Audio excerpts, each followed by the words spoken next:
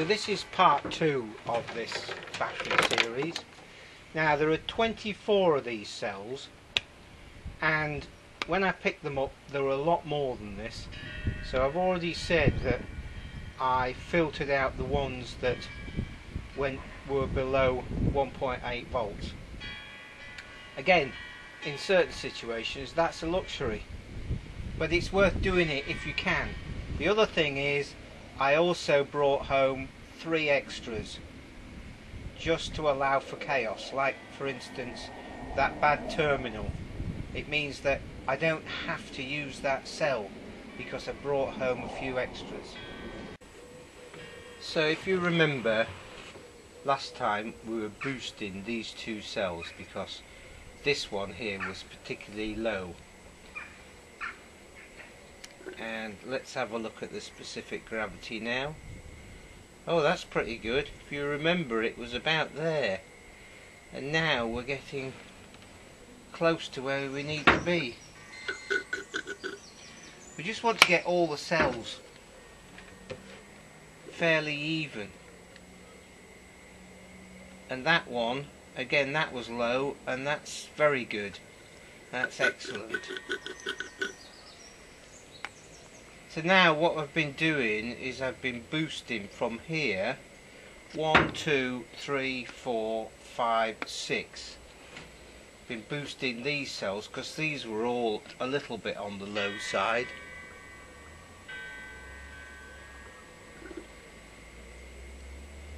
And that's looking good.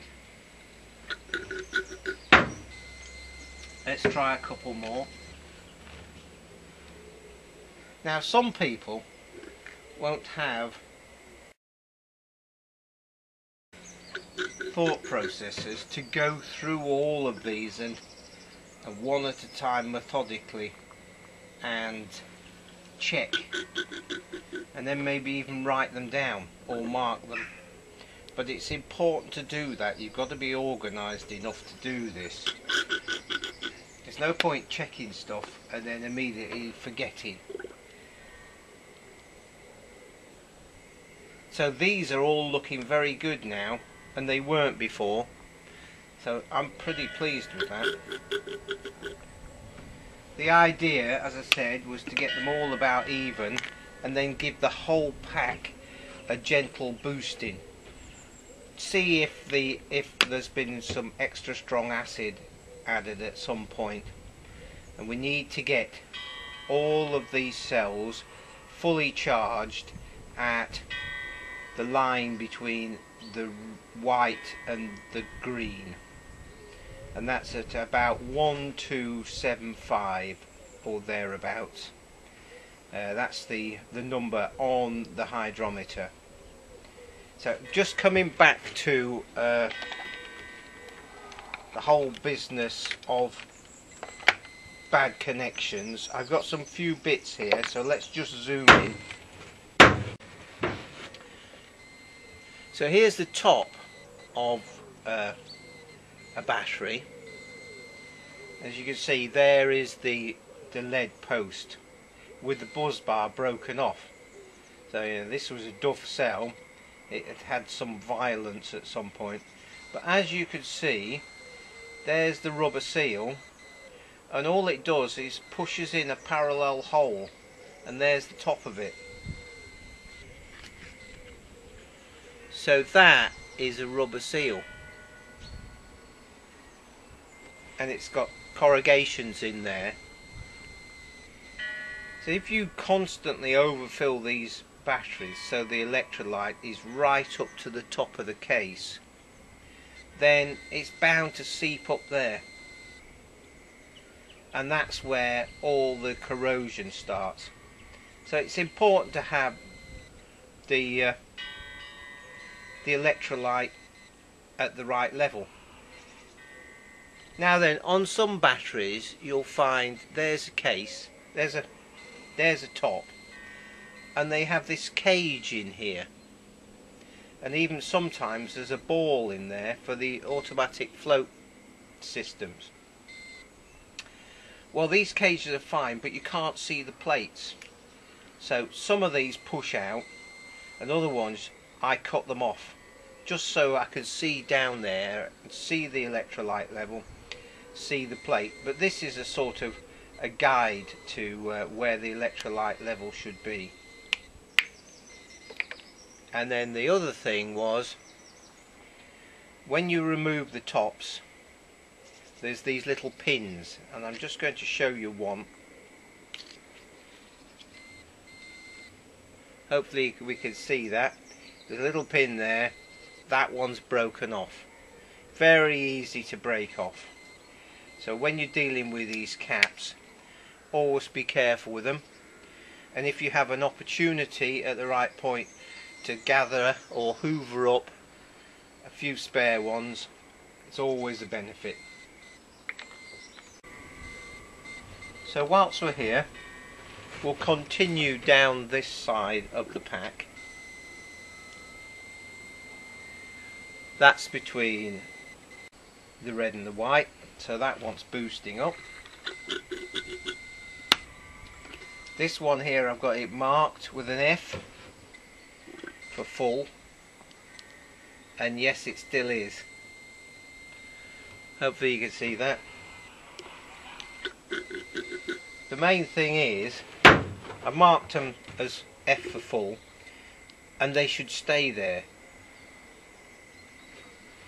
the worst thing in the world is oh that's fully charged and then over the next couple of days it self discharges so you've got to be aware of that. That's another full one. This one says full on it as well. And yeah that's good. I'll just move the camera a bit. Better now this one isn't marked. So there we go. That one's boosting.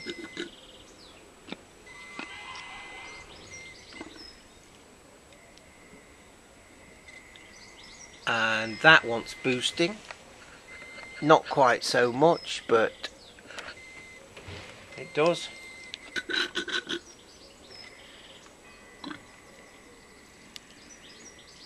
And that one's middling. So it's useful sometimes to number all the cells and then you can make a note of what's going on.